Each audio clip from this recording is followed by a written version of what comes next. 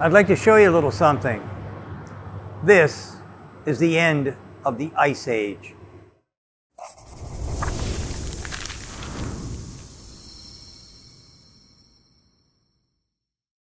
Hey boys and girls, guess what? We're back at Sakuu. And why?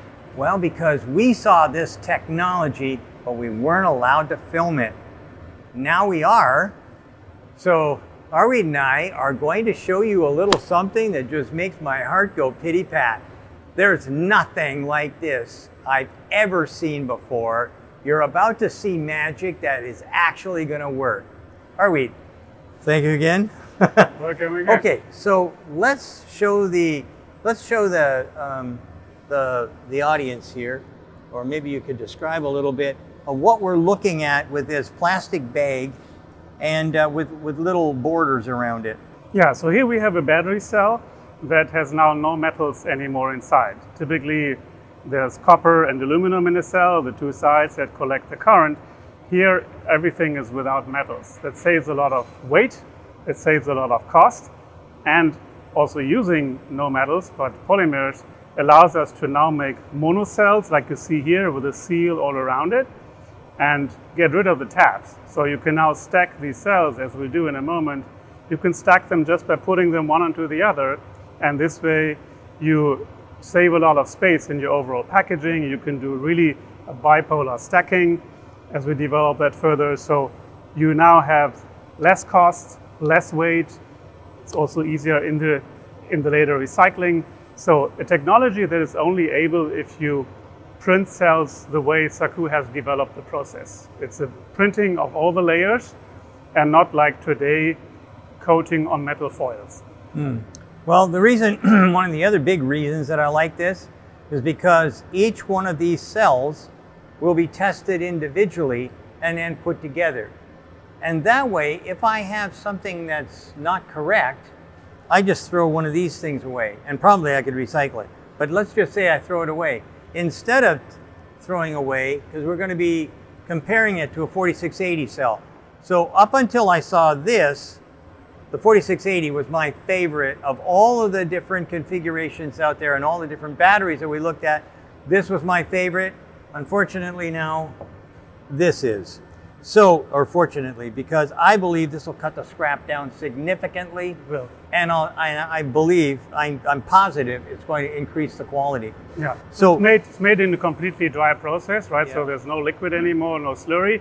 That allows to reuse material in the process. Whenever there's a lower quality, you can reuse the material. And also additionally, you can test much earlier in the process. You have a full working cell much earlier, and that allows also to make the quality control much, much more efficient? Well, I'll tell you what. First thing we need to do is to dispel some of the um, naysayers that I got uh, when we showed you guys uh, a little while ago. So let's just put this back on here. And uh, first thing we're going to do is test for voltage, right? Yes, exactly. So we have the bottom connected with the copper here, and then we test this side, and you can see it's 3.2 volts. Right? So we already used it a little bit, so it has less voltage, or here, positive 3.2 volts. And that shows this is an actual working cell and has no metal inside. Right? That makes it lighter, more cost efficient, and we can also talk about the safety advantages of this.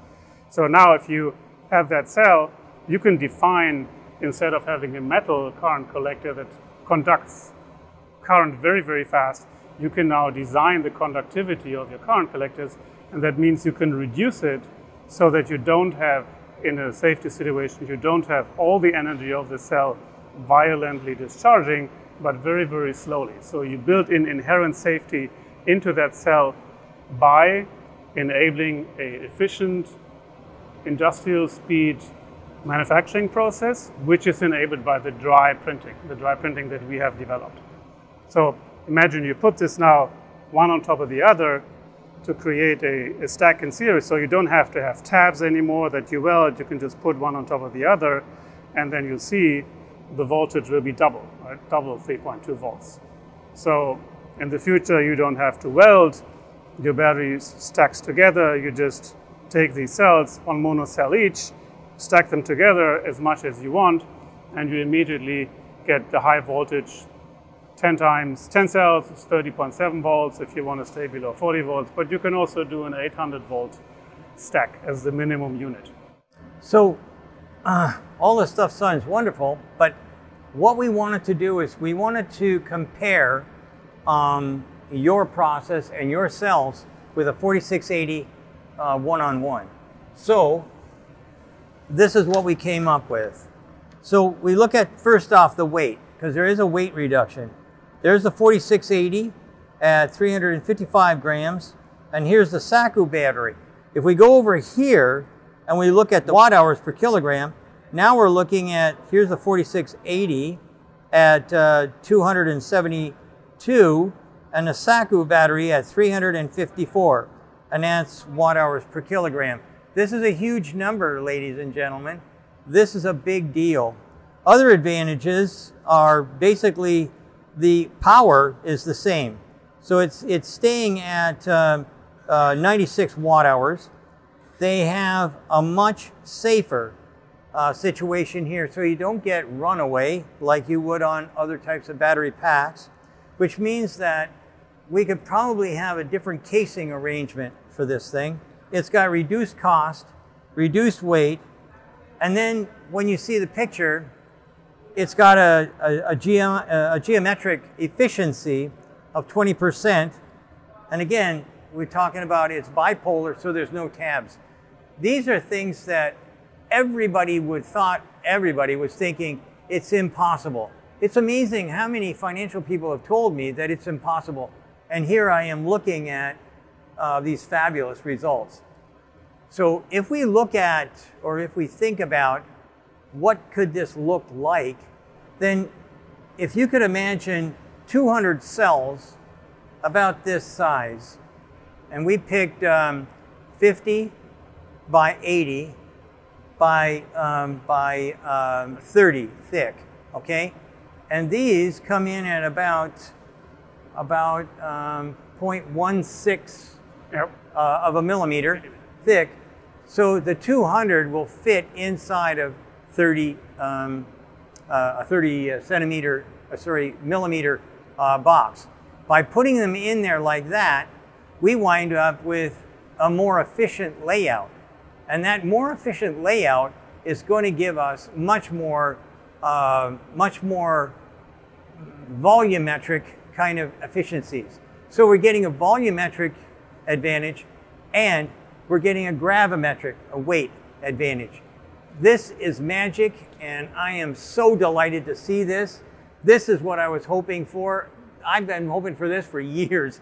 I am so damned excited I can't shut up. Anyways, I'm going to let you talk for a little bit because I can't, uh, I can't stop. Yeah, you just mentioned the inherent safety, right? So when you, when you now control the conductivity of the current collector layers, you do not just choose metal, but you control it in the right way, then you can suddenly avoid the violent runaways. And we've actually done already a nail penetration test. We put five of them together, put a nail through it, and the temperature didn't even rise. Right? Yeah. The voltage went slowly down to the second penetration, the same again. So we've already proven that this concept works. You can build in the safety now into your cell. In addition to all the other advantages we talked about, less cost, uh, less weight, less materials used, and of course the process in itself, printing reduces, uh, reduces the weight that typically you find today with the slurry processes. So you talked about uh, punching it with a nail. Um, has this been cycled like a thousand times, like the other ones have? It's not that it's not yet at a cycles at, at 1,000 cycles today, but we're working on it. Right, it's the same chemistry, and there's no reason why it shouldn't go there. It's it's about the fine tuning of the cells. But yeah. see, the cycle life is typically defined by the chemistry and which reactions happen in the cell, not really by the outside design. So we'll, we are sure we will get there too. Okay, but the other the your uh, normal cells, the yes, the normal cells, yeah, they have already reached more than 1,000 cycles. So we have been developing a lithium metal chemistry at Sakuu, which we have already certified UN 38.3, and that has already surpassed 1,000 cycles while still having 80% uh, energy retention and uh, having all commercial criteria passed. And this is something that we license to manufacturers. Uh, it's a commercially ready cell with all the processes that you have to know.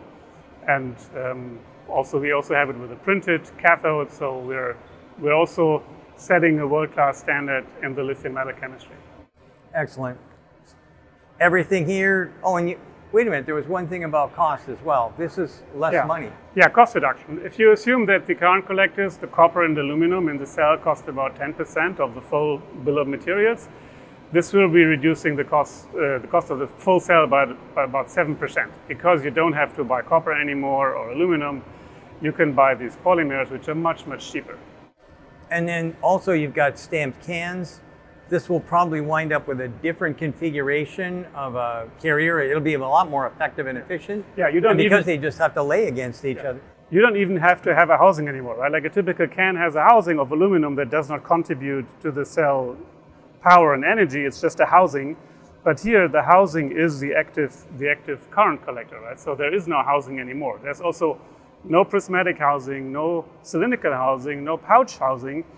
The outer part of the cell, which is typically a copper or aluminum foil, is the outside surface. So yeah. you you don't even you just get get the outer outer housing is fully eliminated. There's nothing left of it.